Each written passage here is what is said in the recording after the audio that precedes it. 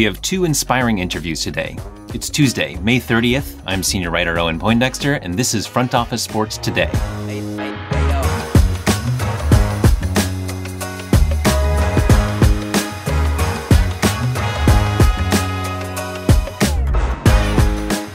On this podcast, we have spoken to people like Jay Williams and Ryan Shazier, who saw promising careers ended very suddenly by severe injuries. But there are people out there who suffer even more drastic injuries than that, but continue to defy limits that people, even their own doctors, put on them. Today, we're going to hear from two of those people. Both are veterans. Both have had to deal with things that are hard for most of us to truly understand. They both give back to their communities in very different ways. And both are hockey players who continue to compete at a high level. I'm very excited to bring you each of these conversations. The first is with three time gold medal winner for the U.S. Paralympic sled hockey team, Jen Lee. All right, I'm now very excited to be joined by Jen Lee. Jen is the goalie of the U.S. Paralympic sled hockey team. Welcome, Jen. Hey, thank you, Owen. Thank you for having me today. Yeah, yeah, absolutely. So, um, uh, you are you're a three-time gold medalist, one-time silver, uh, and but before all that, you were injured in a motorcycle accident in 2009. You had your left leg amputated. When did you realize you could still be an athlete competing at a high level despite your injury? Yeah, uh, it's really after my motorcycle accident. I was still in the military in the service at that time.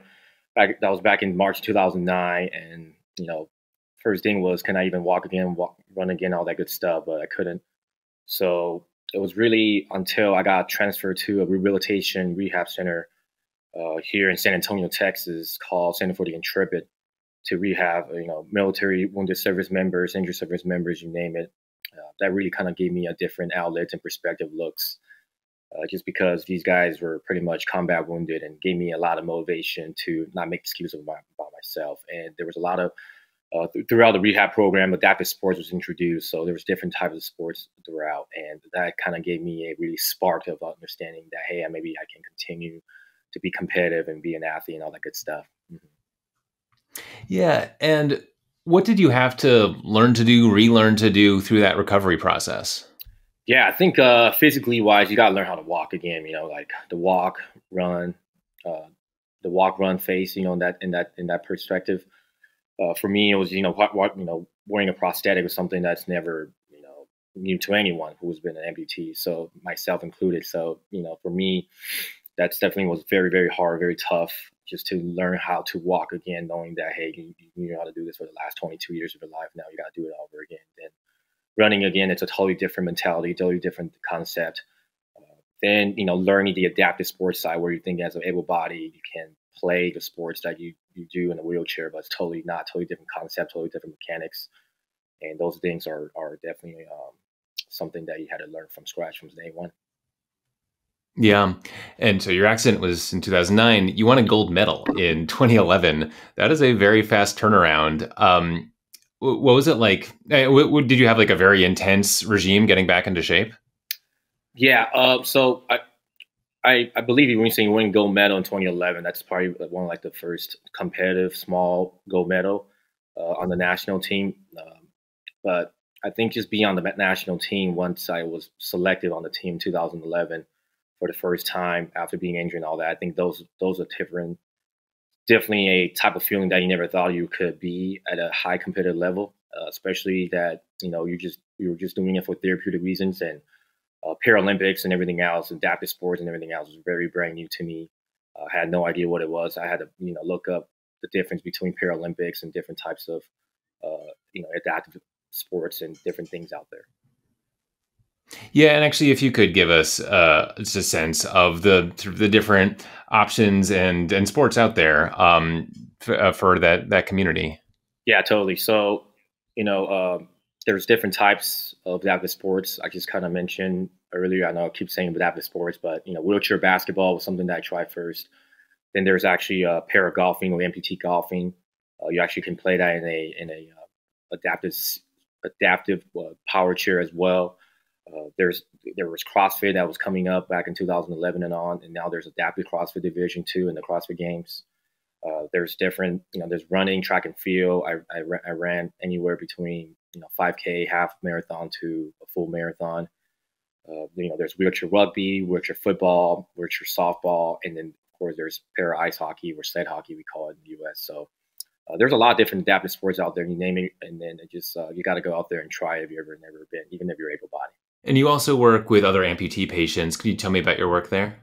Yes. Uh, so I I was a outreach director for a company called Therapy. Therapy was specifically focused on phantom and neuropath- neuropathic pain uh, or nerve pain. Phantom pain, I'm not sure if you ever heard of it or anything like that. It's almost like your, you know, your foot, or your hand, or whatever your traumatic amputation limb was uh, that your brain is telling still there. So long story short, uh, I had myself was struggle struggle with phantom pain, limb pain for the longest time, and until I got um, connected with Therapy, and Therapy had this device. It's a vibrating device that kind of helped you alternate that pain signal from your brain to your to your residual limb. You know, till uh, that cell that that helped me a lot, especially you know with my sleeps and and different things. And sports performance too is a huge thing. So long story short, I realized that when if this device kind of helped me, I knew I was gonna able to help other amputees like myself who experience this pain. And uh, believe it or not, there's a lot of amputees out there who have a lot of issues with this type of pain. Yeah. Oh yeah, I'm sure, and it's something that I'm guessing that you never you're never fully done with it, right? You but you can learn to manage it. You can learn techniques and devices, perhaps therapies that that help you get through each day. Yeah, you said it right. you know, it's it's something that you have to go work on for the rest of your life. It's not a cure. This device is definitely not a cure. It can help you manage your pain. It can definitely decrease your pain level.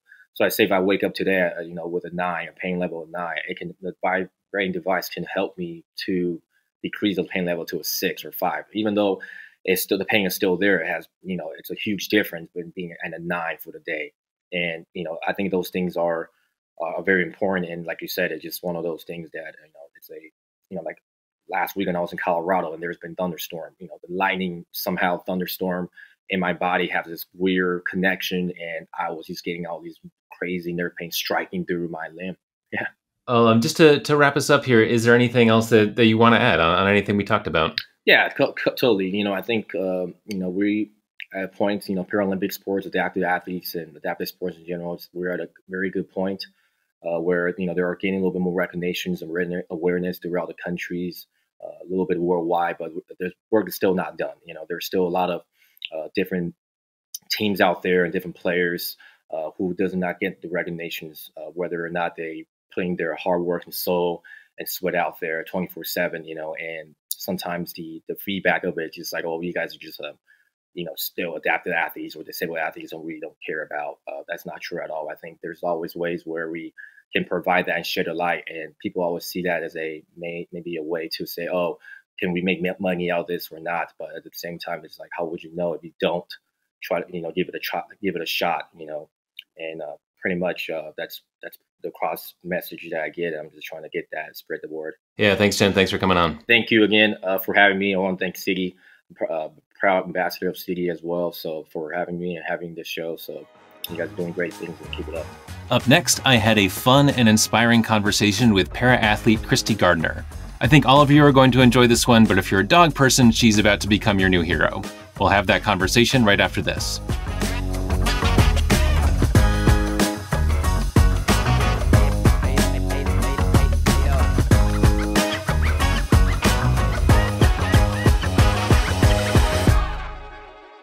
Here's what's trending now. You can defer payments of a full NetSuite implementation for six months. 33,000 companies have already upgraded to NetSuite, gaining visibility and control over their financials, inventory, HR, e commerce, and more.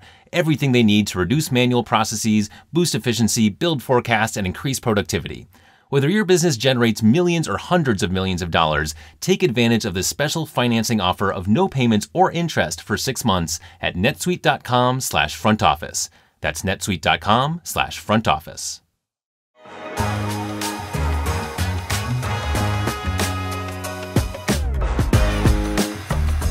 All right, very excited now to be joined by Christy Gardner, para ice hockey player and track and field thrower. Welcome, Christy. Hey, thank you. How's it going today?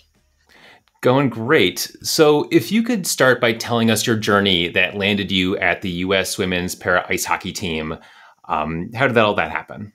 Sure. I mean, it's kind of a long story, so I'll abbreviate it a bit. But I was injured overseas in the Army in 2006. and I spent about five and a half years rehabbing through physical therapy, occupational therapy, speech therapy, all of that. Um, and eventually went finally conceded to a friend, a fellow veteran, that I would come to this sporting event with him, even though I knew that I couldn't ever do sports again, according to the doctors. And so I finally gave in. I went with Neil to this winter sports clinic, and it was supposed to be ski and snowboarding for the most part, but they introduced a new sport each evening, like wheelchair basketball, adaptive kayaking, and sled hockey. So I went to the sled hockey clinic. I was on the ice for like 20 minutes, but I absolutely fell in love with the sport. And so the group that ran the clinic agreed to loan me equipment for six months. So I borrowed their gear and I went home, and the local high school girls athletes taught me how to play hockey and learned all the rules and all the basics.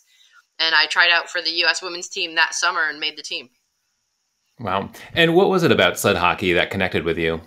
Honestly, really the team atmosphere and the camaraderie of it. Going from the military and having your unit and all your battle buddies that have your back and that you work with every day, it really resonated to have a similar representing the U.S. experience. Yeah.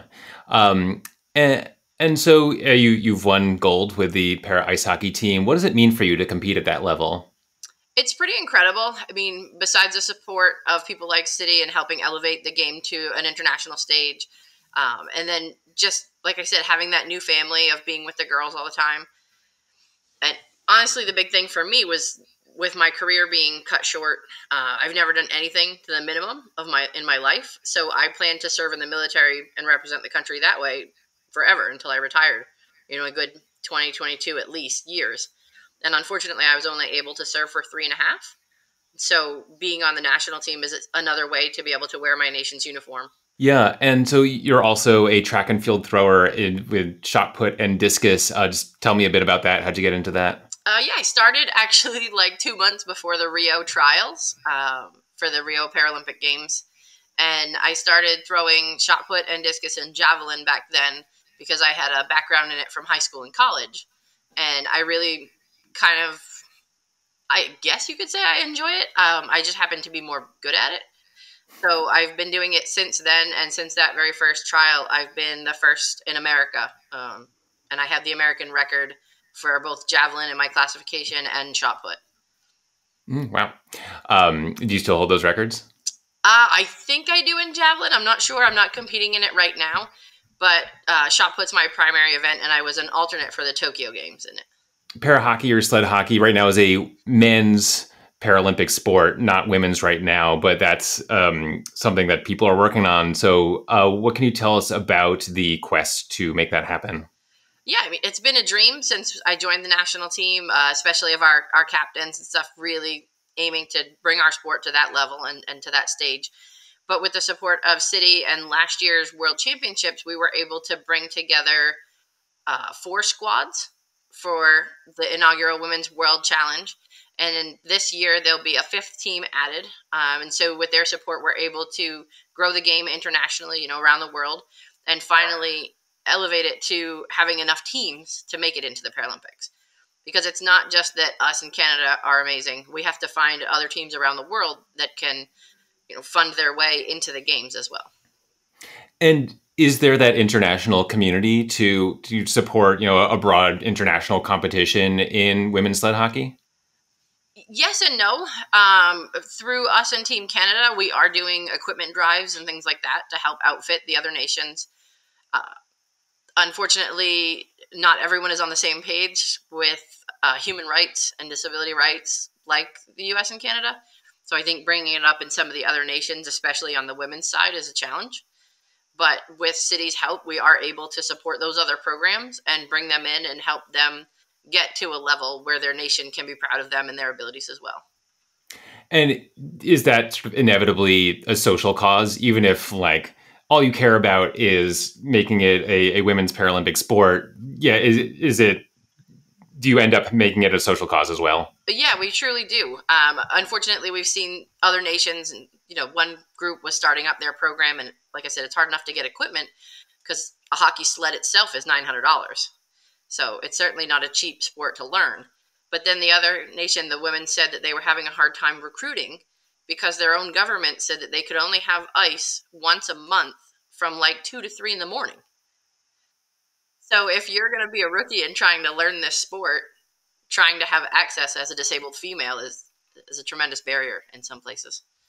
So like there there are rinks, and they say you can have, have access to this rink from at 2 a.m. for one hour, one time a month. Wow.